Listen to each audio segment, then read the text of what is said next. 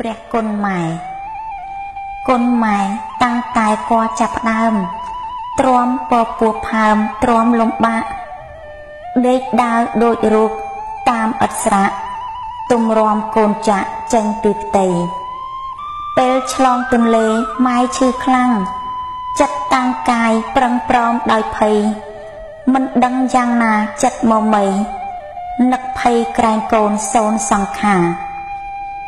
លោកកូនបានកើតជាទារកម៉ែថើបជញ្ជក់សពកាយាបីបងថ្នាក់ថ្នមពេញហត្ថា មេត្តាប្រែឈាមជាទឹកដោះនៅពេលកូនឈឺម៉ែរក្សាបីផ្ទប់អោរាដោយចិត្តស្មោះកូនឈឺម៉ែភ័យមុខស្លាំងអស់មិនសំរានសោះវោះវោះព្រឹក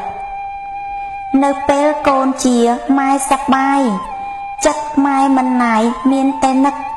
ឃ្លាតឆ្ងាយបន្តិចចិត្តវវឹករលឹករកកូនវិលវិញភ្លាមអង្គុយកកិលក្រោកឈរដើរ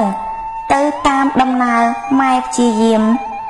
ខំបង្ហាត់កូនដោយមិនទៀម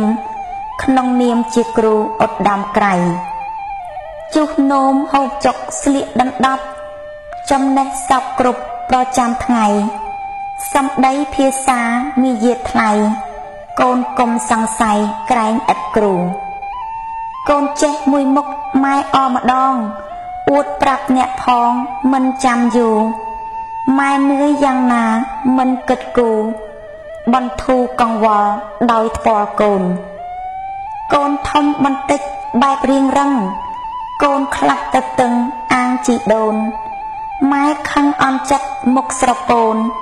វាយកូនរួចគិតអាណិតក្រោយកូនល្អម៉ែសុកក្រៃកន្លង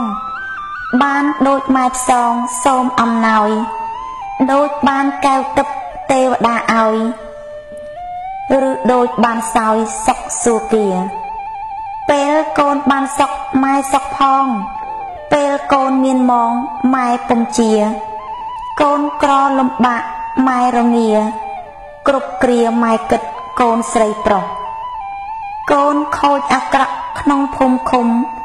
គេគុំគេស្អប់សពសាយសោះម៉ែដឹងប្រកាសថាកូនខុស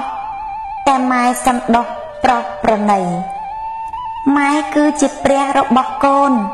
ជាក្បូនជីវិតមនុស្សប្រុសស្រីម៉ែមានគុណធនហួសពោស្ដីគ្មានអ្វីជំនួសម៉ែបានឡើយ